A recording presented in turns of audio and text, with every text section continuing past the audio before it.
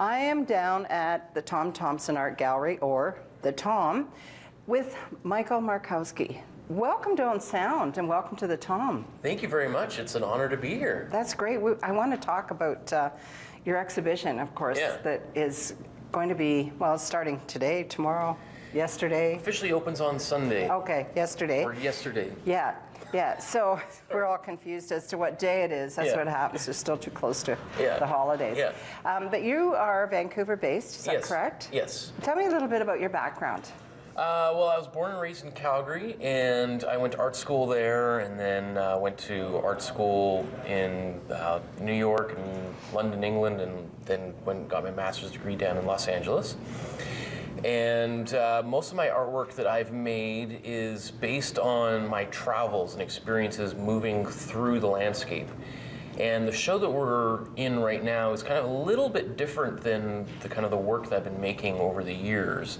Uh, because previous to that, I was making artwork in uh, cars and boats and trains. Yeah, yeah, I know your artwork is quite different, and and uh, when I was doing some research on the, the type of art that you do, Yeah. what you create, and I'm thinking, oh my gosh! Like for instance, you were in what an F-18, Yeah, yeah. flying around doing your art as you're. How do you even stay in your seat? Well, you're strapped right into the into the cockpit. You're you're strapped onto the ejection seat, which is itself a rocket, um, and so there's not a lot of wiggle room. So it's a, it's a challenge for sure to try to draw when you're going upside down and pulling like eight G's of uh, force. Um, so. But uh, it's it, that was a pretty amazing experience. And- So when you were doing that, the type of, of art that you came out with, Yeah. because I, I did look at some of it, so there were a lot of amazing clouds, and the- Yeah. what all did you get out of that? Like, what would you draw? Uh, well, you got to draw really fast because things are moving by you really fast. So you're drawing a cloud, and you know you put a couple pencil marks down, and all of a sudden that cloud is like 400 kilometers behind you. So I would only draw for about a minute at a time because after a minute you're you know 2,000 kilometers Right. away from where you started. So. Um, the, you know the, the most interesting part of that whole experience and i think about it was just being involved with the war artist program and the legacy of that program because uh, the the artists that had been a part of it uh, many of them were members of the group of seven Right. um, and so for me that was kind of like the, the greatest honor is just to kind of uh, to have my name kind of mentioned alongside some of those other kind of really important uh, artists in canadian history Now, I guess my next question for Yeah. me is, you know, it, I'm not an artist. I'm not very artistic Yeah. at all. So, you know, you have a great artistic ability. You go to school, you get your Yeah. degrees, and you decide where you're going to branch out to. Sure. How did you decide to get into something like this, where you're focusing on um, planes, trains, and automobiles, sort of what you're seeing in the landscape? Yeah, well, great question. I, you know, it started out when I was living down in Los Angeles. Uh, you spend a lot of time in your car driving from place to place, and uh, it was just one of those things. I just, you know, had, you know, you, sometimes you're writing down little notes to yourself, and so I just started kind of write, doing a little bit of drawings. I would just, you know, you're sitting there and you see a car in front of you, and you're like, okay, well, I'll start drawing that car, and then I showed those to people, just these real quick little squiggles, and, you're like, oh, that's really interesting. Maybe there's something there. So I kind of started developing it, and then I started thinking about different ways to take it, and different kinds of vehicles, different kinds of places to go, and you know, routes to follow.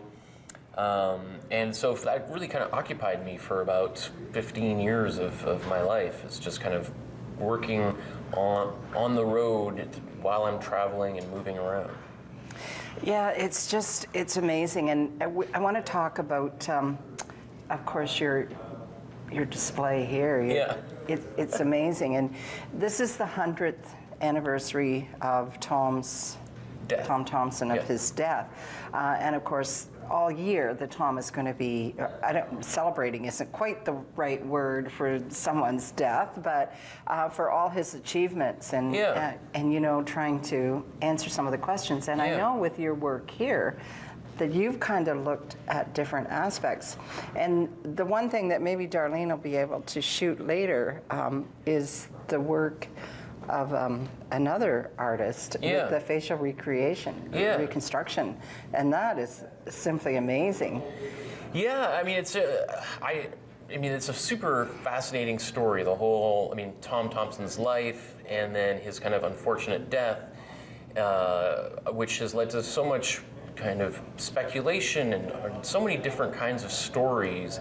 Uh, because he died under these mysterious Right. circumstances. like you know, he supposedly went for you know a canoe trip and then was disappeared and found a week later floating in, in Canoe Lake in Algonquin Park, and no one really knows exactly what happened. And kind of the official story is he just capsized and and, uh, and died, but how he capsized even then is is uh, uh, is a question. Um, and then over the years, people have come up with wilder stories that he was murdered or committed suicide or, uh, you know, I mean, so There's nothing like a mysterious death, especially a Yeah. hundred years ago, Yeah. um, of someone who has become so important to all of us to really fan the imagination. Oh yeah, well, and that's what I've tried to do with this exhibition. Is I've tried to take all the different stories that are out there and to illustrate them in some way to kind of help people visualize what that could possibly look like, as well as kind of the more fanciful, kind of bizarre things, including like uh, space aliens and uh, the Wendigo and uh, vampire situations, and so just to try to kind of outline how ridiculous this whole thing can be once you start, you know, writing down, brainstorming possibilities. Right, and I guess, you know, part of the mystery too is Leith Cemetery, is it Tom Yeah. there? Or is it someone else and Tom is who knows where? Well, that's exactly. So there's two parts to his whole kind of um, afterlife, which is you know how he died, but then what happened to his body afterwards. So, like you said, after he died, for a couple of he was quickly kind of buried in Canoe Lake or, or the in Algonquin Park next to Canoe Lake, and then the family uh, requested his body be exhumed. So they uh, they hired some guy to come up and, and to dig up the, the coffin and, and to move it. But there was always this speculation that when that fellow did that, that the coffin was a little bit too light, and they thought some people thought that maybe the guy just threw a few rocks in there and called it a night, and um, so people thought maybe he was he had never actually left uh, Algonquin Park. And in the 50s, about 50 years after he died, some guys, you know, had a little bit of whiskey and went out there with some shovels and dug up the, the supposedly empty grave, and they found a skeleton in, in what was purportedly to be Tom Thomson's grave, uh, causing all sorts of, you know, uh, wild More speculation. speculation Yeah. again. Yeah. Um, you're going to stay with me. We're going to talk a Yeah. little bit more about uh, your um, all these wonderful. I don't know what the right word is for different depictions of what could have happened Yeah. to Tom. We'll be right back. Don't go away.